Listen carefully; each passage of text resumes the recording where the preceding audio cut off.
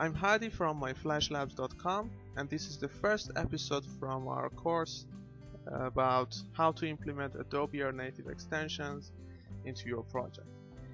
In the first episode, I'm going to talk about how we can download and implement my Flash Labs ANEs or of course any other ANE into your project in if you are using FlashDevelop IDE. In the other parts, we will talk about how you can do the same thing in Flash Builder or Flash CC IDEs. As an example, we are going to download and implement the Rich WebView ANE so to download it you should visit our github repository and you'll find it here. Just download it on your desktop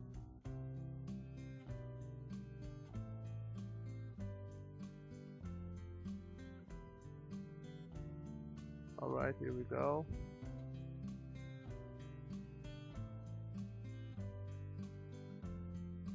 I'm going to move it to the desktop.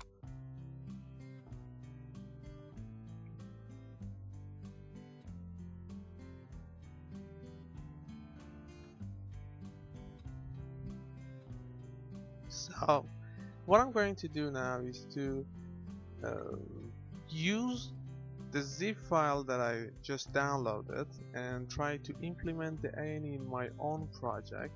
But although the archive that I just downloaded includes a sample project in FlashDevelop but we are going to get help from this zip file and implement the, the Air Native extension into our own project like uh, you want to do it yourself. But we are not going to use the sample project into a zip file.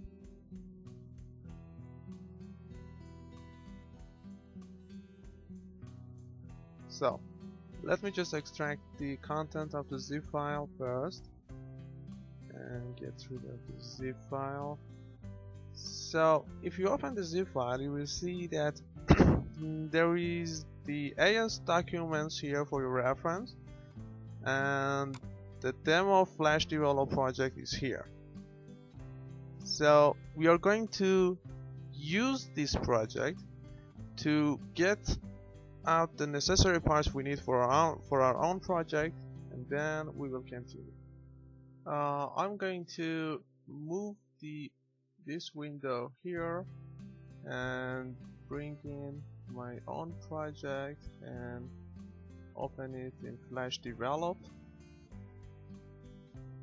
Uh, this project is a very simple project. If you check out the document class, uh, you will see that on init uh, we are initializing a button and place it at the center of the screen.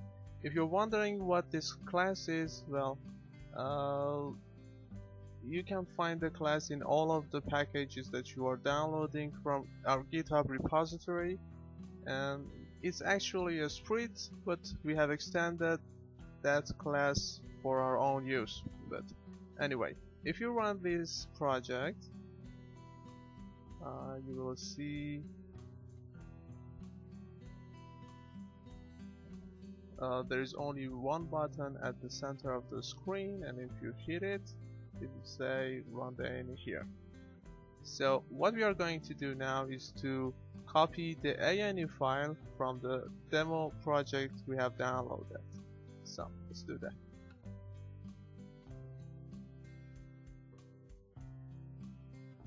The ANE file is in the lib folder. I'm just gonna copy it. And you see there is no lib folder here so let's create folder here.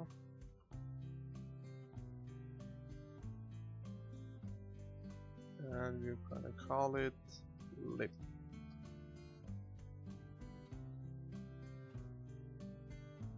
now paste in here. And the first thing to do is to right click on the ANE file and add to library. Now you're going to import the necessary classes like import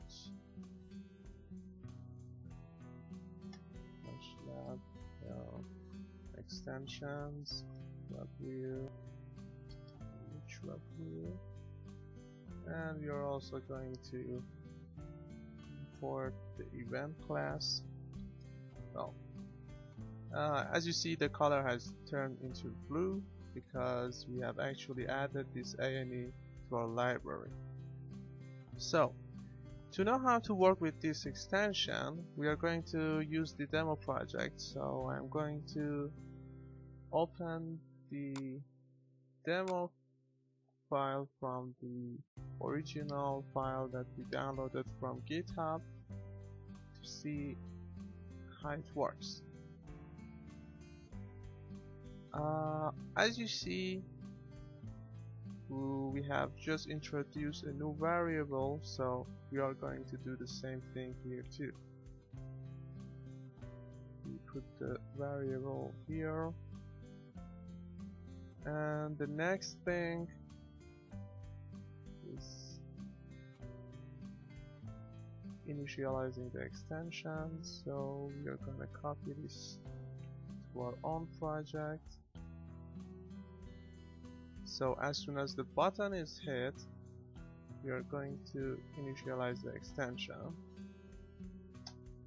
We are initializing the extension and as expected everything should still work fine right? So uh, let's run the project and see what happens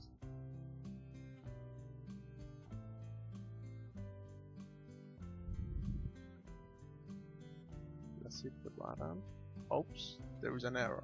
So let's read what the error says. Cannot access a property or method of a null object reference. So as it seems the extension is not able to be initialized. So what could be the reasons? The first thing to check is uh, to make sure that the extension is actually implemented in our project. So if you open the Adobe Air Manifest XML file. Uh, you see we have not implemented anything here so let's close the debugger and look at the sample project now. Okay. I'm gonna drag it into the FlashDevelop IDE and compare the two uh, alright uh, considering that we are right now building for Android uh, let's see what are the differences. Uh, there are some comments in the manifest file which tells you that the minimum SDK version required for this ANE is 10 so we're gonna copy this line. To our own project under the manifest tag. So alright. And then if you are going to you see every different Air native extension uh, may require different uh, permissions in, for the Android or the iOS part so we are going to concentrate on the main points uh, as it's suggested here so if we are going to use GPS for the WebView extension we need to copy the following lines. So here we go. On the uh, you should be very careful where from you're copying the tags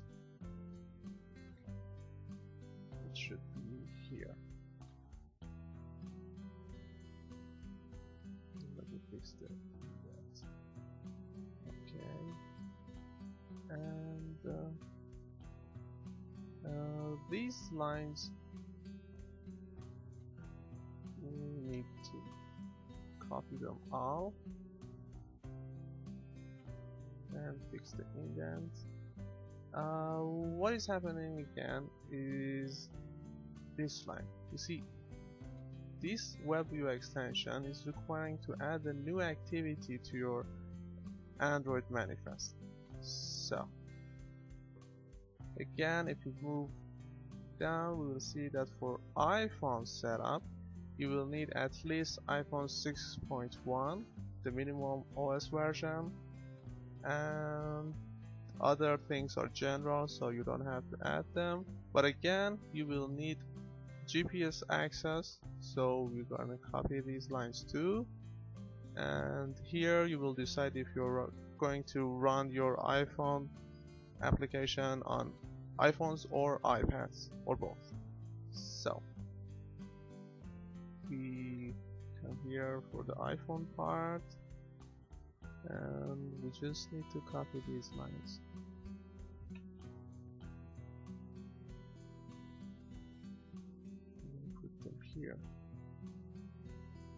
and of course we need to copy the minimum OS version.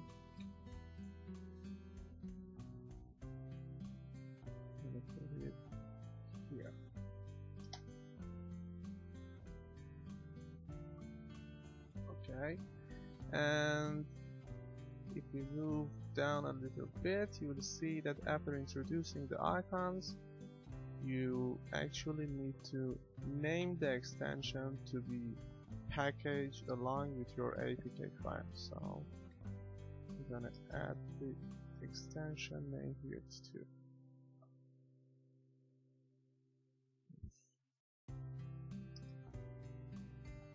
anyway. Okay now we have our manifest set up alright the next thing to be careful about is that uh, in our project we are running on Adobe SDK 18 so let's make sure what we have here. We are currently running on 18 but our SDK is 19 alright so imagine we are using SDK 19 in our own setup just like this uh, another thing to be careful about is to set the compiler option. So we move to the compiler option tab and add it here. Equals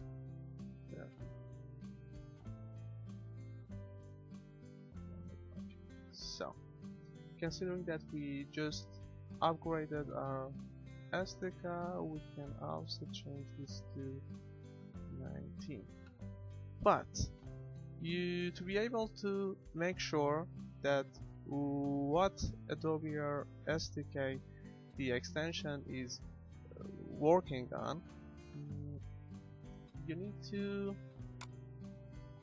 open you see every Air Native extension is actually a zip file.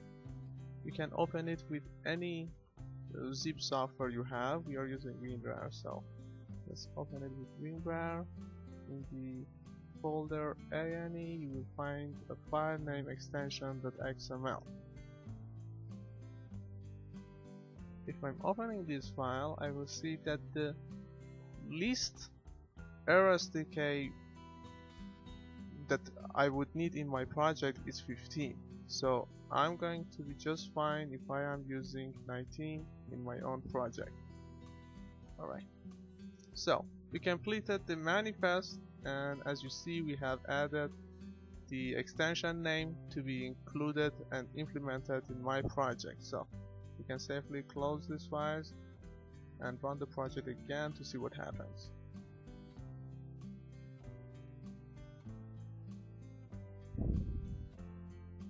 alright this time there is no error in the debugger but it's as you see it says that the content cannot be loaded because there was a problem loading an extension. The extension is not being loaded. Could not found. So, what is the problem now? Let's see. Let's take a look at our packager bat file here. And as you see, there is a call to ADT which is trying to package your application.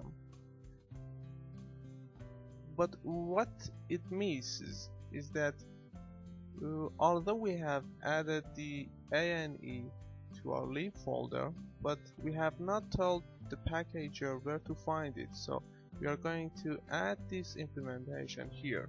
Let's get back to the demo project and compare the packager file. Uh, let's find the ADT file. It's here. See? It's actually telling the ADT packager to find the ANE in the lib folder. So we are going to copy this line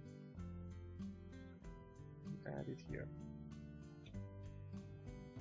Alright now let's run our project again. And again the same problem. Although we have introduced the, the location of the extension but the packager is still not able to package the application. So another thing you should remember is that most of the Adobe native extensions are using native API calls which might not be available to the simulator. So uh, again we let's try to run on an actual device. Debugger. So this time we are not going to run on a simulator we are going to run on a real device I'm going to call it voila. It's, it has started to package the extension. See a dist folder has been created here and it is now installing the application on the device.